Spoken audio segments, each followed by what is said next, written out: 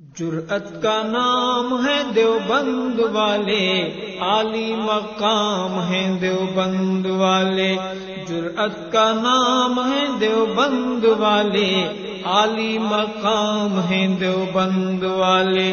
جرأت کا نام ہے دیوبند والے، عالی مقام ہے دیوبند والے۔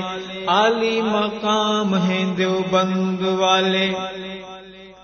اللہ حضرات گرامی، اب میں بلا تاخیر اس جلسے کی کاروائی کو آگے بڑھاتا ہوں اور بلا تمہید اس پہ مثال خطیب کو دعوت سخن دیتا ہوں، جن کی پرزور خطابت دشمنان رسول کے لیے شمشیر برہنہ اور عاشقان نبی کے لیے سراپا تنویر ہے، جن سے میری مراد گلہائے رنگا رنگ سے معطر کر دینے والا خطیب ذیسان مورخ اسلام حضرت مولانا مفتی محفوظ الرحمان صاحب قاسمی، استاد مدرسہ دارالعلوم جلیلیہ جرول قصبہ ہیں۔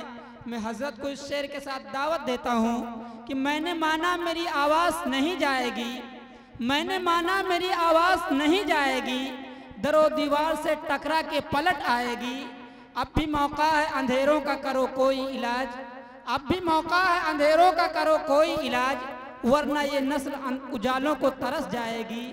یہ نسل اجالوں کو ترس جائے گی حضرت مولانا مفتی صاحب مائک پر الحمد لله الحمد لله نحمده ونستعينه ونستغفره ونؤمن به ونتوكل عليه ونعوذ بالله من شرور أنفسنا ومن سيئات أعمالنا من يهده الله فلا مضل له ومن يضلل فلا هادي له.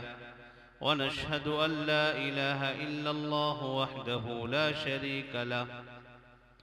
ونشهد أن سيدنا وحبيبنا وشفيعنا وسندنا وإمامنا ومولانا ومولانا محمدا عبده ورسوله صلى الله تبارك وتعالى عليه وعلى آله وأصحابه وبارك وسلم تسليما كثيرا كثيرا.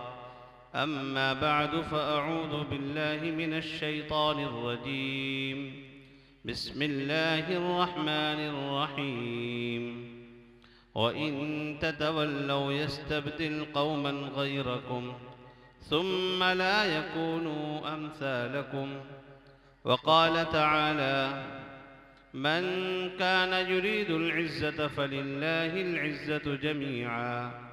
صدق الله ومولانا العلي العظيم. لائق صد احترام.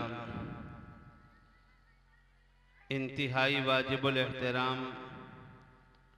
اسٹیج پر رونق افروز علماء کرام. بزرگوں دینی، اسلامی غیرت مند بھائیوں، باعزت ماؤں اور بہنوں۔ حضرت مولانا قاری زبیر احمد صاحب دامت برکاتہم کا انتہائی نورانی عرفانی خطاب آپ حضرات نے سماعت فرمایا۔ اور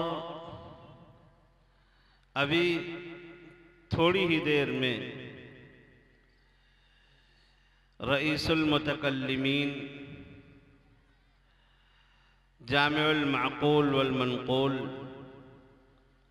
حضرت مولانا بشیر احمد صاحب دامت برکاتہم کا انتہائی ایمان افروز، مفصل اور مدلل خطاب ہونا ہے۔ بہت مختصر وقت کے لیے میں آپ کے درمیان حاضر ہوا ہوں۔ آپ کے آج کے اس جلسے کا عنوان ہے دور حاضر میں مدارس اسلامیہ کی اہمیت۔ دعا فرمائے کہ رب کریم اس عنوان کی روشنی میں کچھ ضروری اور کام کی باتیں کہنے کی توفیق عطا فرمائے۔ ہم سب کو صحیح صحیح بات سمجھنے کی توفیق عطا فرمائے اور اس پر عمل کرنے کی توفیق عطا فرمائے۔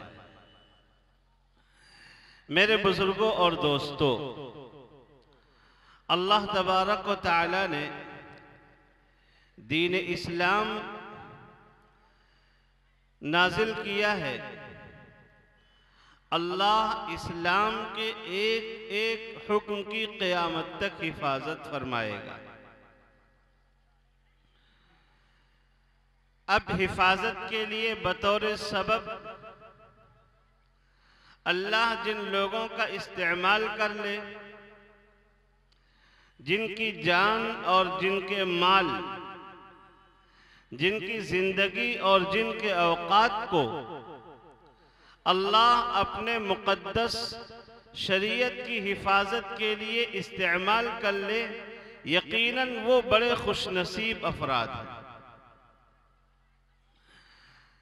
آپ یوں سمجھئے، مذہب اسلام دنیا کے اندر ہر دور میں مسلمانوں کی حفاظت کے مضبوط قلعے ہیں۔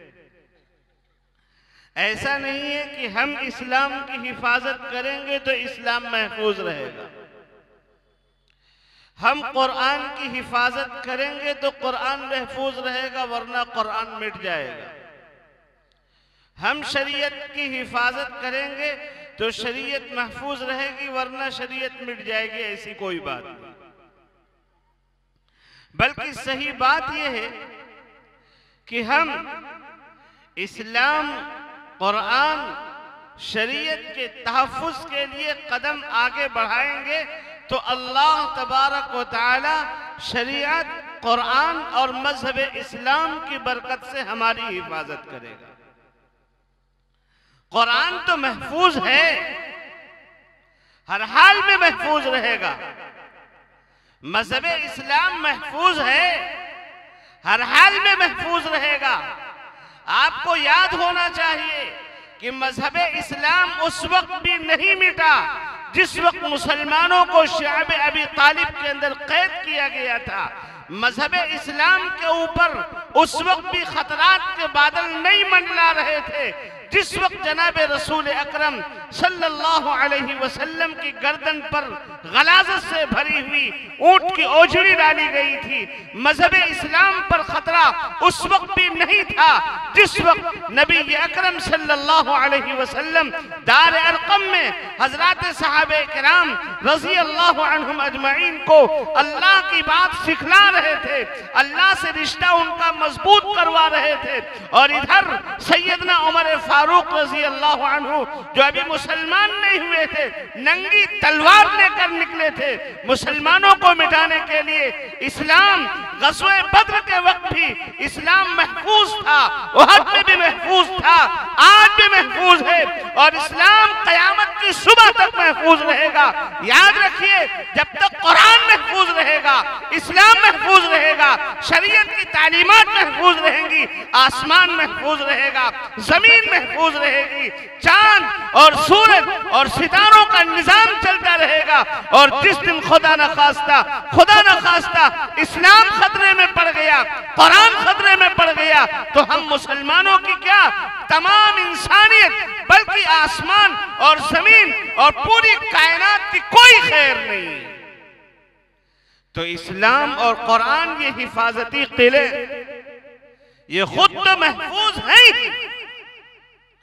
اللہ تبارک و تعالی نے مسلمانوں کو اپنے مذہب کی حفاظت کا حکم دے کر مسلمانوں کے اپنے تحفظ کا انتظام کر دیا۔ حضور اکرم صلی اللہ تعالی علیہ وسلم جب ہجرت فرما رہے تھے،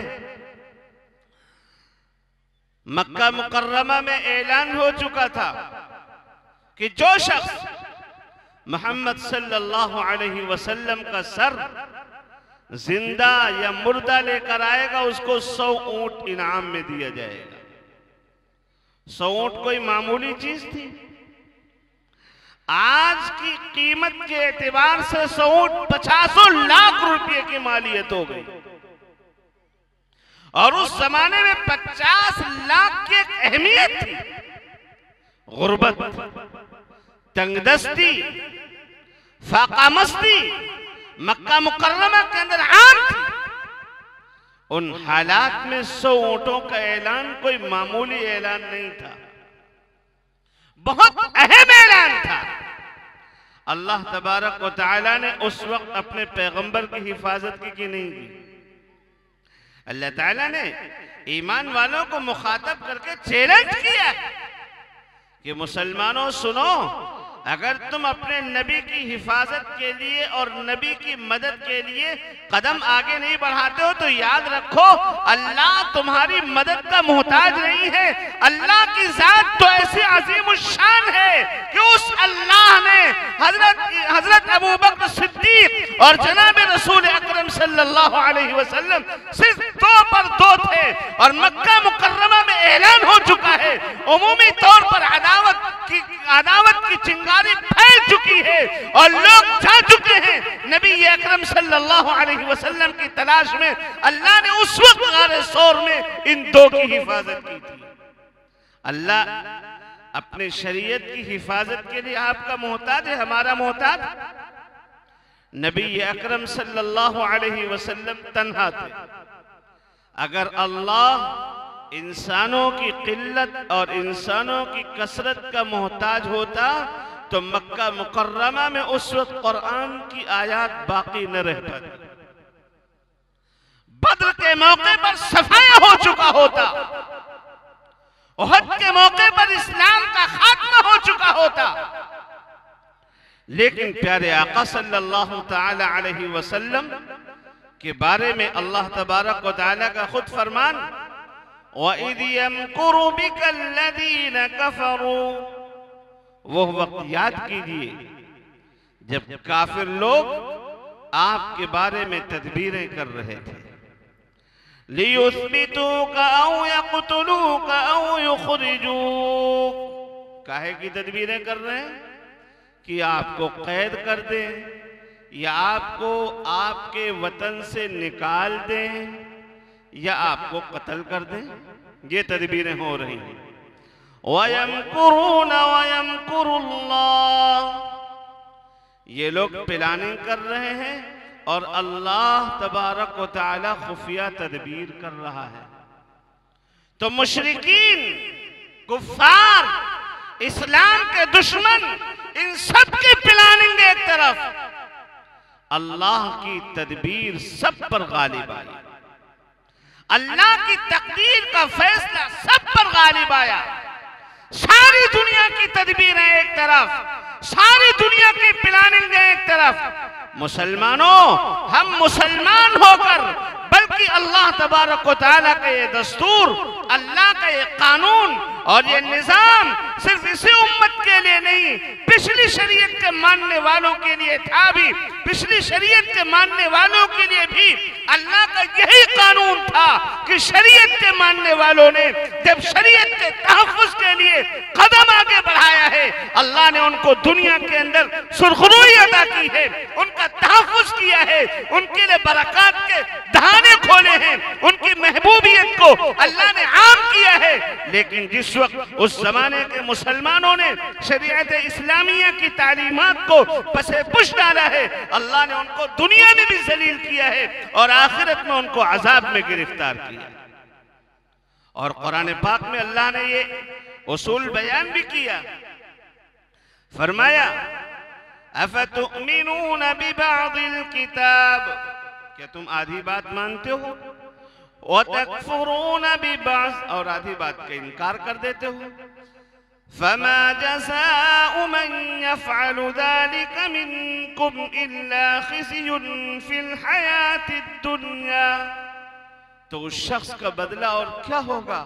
جو تم میں سے ایسا کرے کہ آدھی بات مانے، آدھی کا انکار کرے، اس کا بدلہ اس کے سوا اور کیا ہوگا کہ اسے دنیا میں ذلیل اور رسوا کیا جائے اور قیامت میں سخت عذاب میں گرفتار کیا جائے۔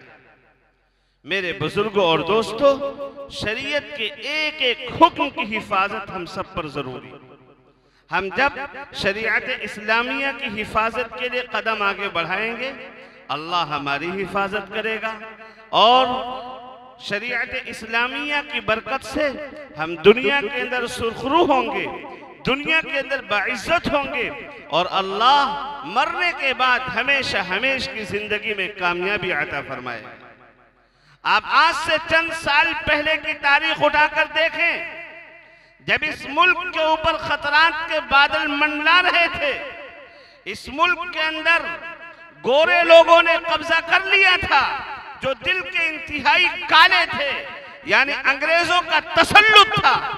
اکابر علماء کرام نے اس ملک کے باشندوں کی حفاظت کے لیے سب سے پہلے کون سا طریقہ اختیار کیا؟ انہوں نے اس ملک میں مدارس کا جال بچھا دیا۔ اس ملک میں مدارس کا جال بچھا دیا۔ مکاتب کا جال بچھا دیا۔ گاؤں گاؤں کریا کریا مکتب کو عام کیا۔ حضرت شیخ الہند، مولانا محمود حسن دیوبندی نور اللہ مرقدہ، جب جیل سے سزا کاٹ کر تشریف لائے، تو استقبال کے لیے علماء کرام کا ایک جمع غفیر تھا۔ اور کیوں نہ ہو تھا، حضرت شیخ الہند کے شاگردوں میں ایک سے بڑھ کر ایک نامور علماء شامل تھے۔ حضرت تھانوی رحمت اللہ علیہ شیخ الہند کے شاگردوں میں، حضرت مولانا الیاس صاحب رحمت اللہ علیہ شیخ الہند کے شاگردوں میں اس طرح بڑے بڑے علماء حضرت شیخ الہند کے شاگردوں میں تھے۔ حضرت شیخ الہند رحمت اللہ علیہ نے علماء کرام کی موجودگی میں ایک تقریر فرمائی اور اس تقریر کے اندر حضرت نے فرمایا تھا کہ میں نے تین سال جیل کی سلاخوں کے پیچھے انتہائی سنجیدگی کے ساتھ غور و فکر کیا ہے، مجھے اس ملک کے مسلمانوں کی زمو اور ان کی بدتر حالی اور ان کی پوزیشن میں نے جو دیکھی ہے، ان کی زمو کے جو اسباب ہیں، میں نے ان کے اسباب پر انتہائی سنجیدگی سے غور کیا ہے۔ مجھے ان کی زمو اور ان کی بدتری کے اسباب میں سے صرف دو باتیں نظر آتی ہیں۔ ایک بات تو یہ ہے کہ مسلمانوں نے اللہ کے مقدس کلام کو چھوڑ دیا ہے اور ان کے اندر آپس میں فرقہ بندی پیدا ہو گئی ہے۔ حضرت نے فرمایا تھا، اس لیے میں نے جیل کے اندر تے کیا ہے کہ اللہ کے مقدس کلام کو، اس کے حروف کو، اس کے معانی کو، اس کی تجوید کو، اس کی تفسیر کو، اس کے احکام کو گاؤں گاؤں، قریا قریا، بستی بستی عام کرنے کی کوشش کروں گا۔ چنانچہ حضرت والا نے اپنے شاگردوں کو اس کا حکم فرمایا اور ان کے شاگردوں نے یہ بیڑا اٹھایا۔ آج الحمدللہ الحمدللہ، ثم الحمدللہ۔ ہندوستان کے کونے کونے میں مدارس اسلامیہ موجود ہیں۔ اور یاد رکھئے مسلمان اس وقت، اس ملک کے اندر جو عزت کے ساتھ جی رہا ہے، چین و سکون کی سانسیں لے رہا ہے، اس ملک کے اندر مسلمان اپنے تشخص کے ساتھ، اپنے وقار کے ساتھ جو زندہ ہے، یہ صرف اور صرف مدارس اسلامیہ کے جس دن مدارس نہ ہوں گے، جس دن مقاتب نہ ہوئے جس دن ان اداروں کو ختم کر دیا گیا۔ یاد رکھیے، ہمارا مسلمان ہونے کی حیثیت سے باقی رہنا مشکل ہو جائے۔ ہمارا مسلمان ہونے کی حیثیت سے باقی رہنا مشکل ہو جائے۔ آج تو ہم سوچتے ہیں کہ صاحب، کوئی مولانا صاحب فارغ ہوتے ہیں، فوراً کھانے کمانے کا ذریعہ بنا لیتے ہیں، مدرسہ کھول کر بیٹھ جاتے ہیں۔ اور بہت سے لوگوں نے تو ٹھان رکھا ہے۔ کہ صاحب مدرسے میں چندہ نہیں دینا ہے۔ رمضان میں زکاة کا حساب لگا کر کہاں دینا ہے؟ فلاں کی شادی میں دینا ہے۔ فلاں صاحب شادی میں اتنے جہیز کا انتظام کر رہے ہیں۔ پانچ سو باراتیوں کے کھانے کا انتظام کر رہے ہیں۔ اس میں ہم جہیز زکاة کا مال لگائیں گے۔ ادا ہوتا ہے یا نہیں ہوتا یہ تو بعد میں علماء کرام بتائیں گے کہ زکاة کی ادائیگی بھی ہوتی ہے کہ نہیں ہوتی۔ لیکن مدارس اسلامیہ سے اس قدر نفرت اور اس قدر دشمنی، یہ آخر کس بات کا پیش خیمہ؟ حضرت اقدس مولانا اشرف علی تھانوی رحمت اللہ علیہ نے لکھا کہ تم سمجھتے ہو کہ یہ مدارس والے ہمارے چندے سے پل رہے تم چندہ دینا بند کر دو۔ بند کر دو۔ یہ علماء، یہ حفاظ، یہ قرآن یہ اساتذہ کوئی اپاہج نہیں۔ کوئی دال کی دکان کھول کر بیٹھے گا، کوئی چاول کی دکان کھولے گا، کوئی راشن کی دکان کھولے گا، کوئی کپڑے کی دکان کھولے گا۔ کوئی جوتے اور چپل کی دکان کھولے گا، سب اپنا اپنا کاروبار کر لیں گے۔ سب کے گھر کے اخراجات کا انتظام ہو جائے گا۔ لیکن مسلمانوں، تم سوچو، پچاس سال بعد آنے والی نسلوں کے بارے میں ان کو قال اللہ اور قال رسول کی تعلیم کون دے گا؟ پچاس سال بعد آنے والی نسلوں کے بارے میں سوچو، ان کو کلمہ کون سکھائے گا؟ ان کو قرآن کون سکھائے گا؟ ان کو اللہ کا تعارف کون کرائے گا؟ نبی کا نام کون سکھائے گا؟ قیامت کا یقین کون بتلائے گا؟ یہ دنیا کے اندر بلندیوں کے اوپر تو ضرور فائز ہو سکتے ہیں، لیکن خدا کی قسم، اگر تم نے مدارس اسلامیہ سے اس طرح دشمنی اور عداوت کا مظاہرہ کیا، تو تمہاری نسلوں کے اندر مسلمان نہیں، بلکہ دین کے اور قرآن کے اور نبی کے اور اللہ کے دشمن پیدا اس لیے بزرگوں اور دوستوں، آج کے اس دور میں مدارس اسلامیہ یہ وقت کی ضرورت جب تک مدارس ہیں تو قرآن کی حفاظت ہو رہی ہے، تجوید کی حفاظت ہو رہی ہے، معانی اور مخارج اور تفسیر کی حفاظت ہو رہی ہے اور قرآن کی حفاظت کی برکت سے ہم سب محفوظ ورنہ کیا ہوگا؟ اللہ نے فرمایا، ان تتولوا يستبدل قوما غيركم ثم لا يكونوا امثالكم اگر تم روگردانی کرو گے تو اللہ تمہارے بدلے میں دوسری قوم کو لے کر آئے گا۔ اللہ دوسری قوم سے، دوسری قوم سے اپنے مذہب اسلام کی حفاظت کی ذمہ داری لے گا اور یہ دوسری قوم تمہاری جیسی نہیں ہوگی۔ اس لیے میرے بھائیوں، بزرگوں اور دوستوں، میں زیادہ لمبی بات کرنے کے لیے نہیں بیٹھا۔ ہمارے اکابر علماء کرام ہیں۔ ابھی ان کا تفصیلی خطاب ہونا باقی ہے اور پروگرام آج زیادہ دیر تک آپ کا چلنا بھی نہیں، بارہ بجے تک جیسا کہ مجھے بتلایا گیا تھا، بارہ بجے سے پہلے ختم ہونا ہے۔ اس لیے وقت کی رعایت کرتے ہوئے بس یہ بات میں آپ کے سامنے عرض کر رہا ہوں کہ میرے بھائیوں، خدا کے واسطے مدارس کی طرف نفرت کی نگاہ سے مت دیکھیے۔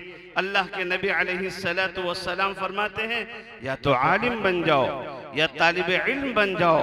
یا علم کی بات سننے والے بن جاؤ، یا اہل علم سے محبت کرنے والے بن جاؤ۔ اور آقا فرماتے ہیں، تم پانچواں مت بننا یعنی علم والوں سے نفرت مت کرنا، ورنہ تم ہلاک ہو جاؤ گے تباہ ہو جاؤ گے برباد ہو جاؤ گے حفاظت کی ذمہ داری اللہ نے لے رکھی ہے، قرآن کی حفاظت کی ذمہ داری اللہ نے لے رکھی ہے۔ قرآن ایسا مضبوط قلعہ ہے، ایسا محفوظ قلعہ ہے جو قرآن سے جڑے گا، جو سینے قرآن سے وابستہ ہوں گے، جن کی زندگیاں قرآن سے جڑیں گی، جو خاندان قرآن سے وابستہ ہوگا، جو معاشرہ خاندان قرآن سے وابستہ ہوگا، اللہ قرآن کی برکت سے اس خاندان، اس معاشرے، اس تشخص کی حفاظت کرے گا۔